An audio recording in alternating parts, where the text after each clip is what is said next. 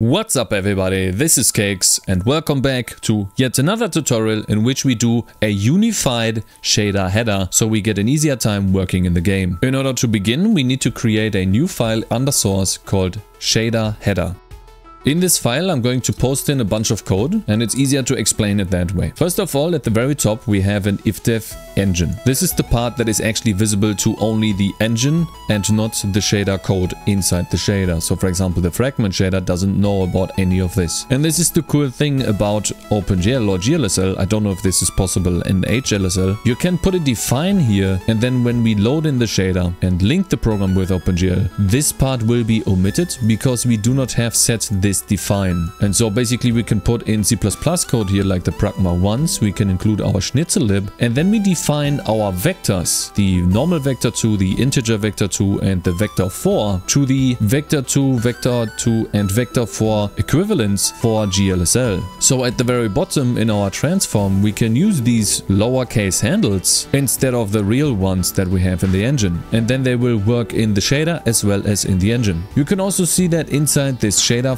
here we have the bit define macro, the one that we did the last time, and we also have our bits, you know, for the flip X and for the flip Y options. And then if you take a look at the transform at the very bottom, you might see that it only has the rendering options and now it has a float layer. Last time I accidentally put the animation index into the transform. There was actually a mistake, so we're going to fix this now. Actually, we want to completely get rid of this transform because we don't need it anymore because we are going to include it at the very top now. So at the very top, includes the shader header.h. Okay, now this is actually everything that we have to do in our rendering interface. There's not much else we have to do, but we have to change the glrenderer.cpp. So switch over to that and then go to the shader creation. In the glinit function, we create two shaders, the vertex and the fragment shader. Inside of this function, we need to load in the header file now. And also I would like to change the vertex shader here to shader source. So if you want to rename this, and then I want you to paste in the shader header file loading. We basically load the source file shader header.h using the transient storage and the file size. I also add in the error checking for the shader header. If we are unable to load one, then we just return zero. Now, when we create the shader, instead of just supplying our vertex shader, this shouldn't be vertex shader anymore. That should be shader source.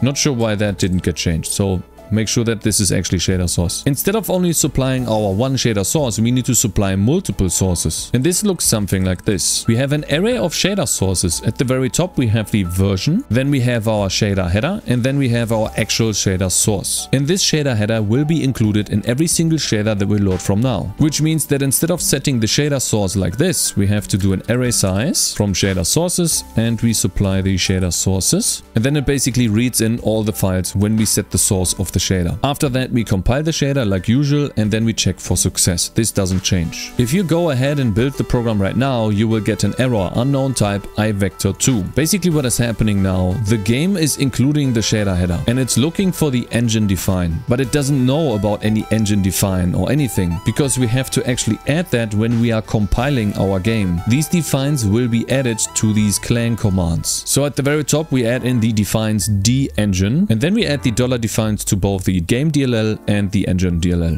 Building now will build us the program no problem. Which means that we have now essentially unified our shaders, but we also have to change our shaders. If we were to run the program now, we would run into errors. We have a bunch of redefines and we also have the problem that the first thing in our shader, the version is happening twice. So for example, if we go to the vertex shader, this version core can only happen once. And we already put that into the shader sources in our renderer here. So we have to get rid of this for sure. We already defined the macro and we already define these and we also define the struct already. Additionally, I also changed the naming of these. It is now called rendering option flip X. So in the vertex shader at the very bottom here where we check if we want to flip X or Y, replace this with the proper naming. I like this naming a little bit better. It doesn't have to change. Uh, it's just a personal preference. So rendering option X and rendering option Y. So that is the cleanup in the vertex shader. And then in the fragment shader, we have to get rid of the version here. Running the program will work already. So this is not very much that we have to do. Uh, in addition, I also want to fix a problem that we have encountered or that you might not even know about. And so let me show you what actually happens. If we switch over to RenderDoc, and I'm pretty sure you remember this from a previous tutorial, if you didn't, it's basically a way of inspecting our graphics when we have an application. So we can put a path to the executable here and then launch that. Once in the game, we can press F12 to run a capture. This capture gives us information and the most notable thing at the bottom is that everything loaded without any problems. Now if I switch back into the game and then change for example the fragment shader so that everything is red. You can see that it worked, right? And then we do another screen capture using F12. Now I load this screen capture. You can see at the bottom that it gives me an error. And I'm double clicking on this error basically says there's no vertex shader bound to draw and we are using the API incorrectly. Now I've been trying to look into this problem and I couldn't find a solution. Essentially what the problem is, is our reloading of the shaders. This code right here is not working properly and instead what works for me is creating a new program, checking if this new program works, and if this new program works, then assigning the program ID again and deleting the old program. So essentially what is happening here, and we can get rid of this trace, this was just for debugging purposes. The if check is the same, and the creation of the shader stays the same. We assert on both of these, and then the difference here is that we are now creating a new program. We are attaching both shaders, and then we are linking it. Then we do the detach, and we check whether the program works. Basically basically we're checking the link status. And uh, the weird thing is that even if we do this the old way without creating a new program, it will still not show up an error. Uh, the error only happens or shows up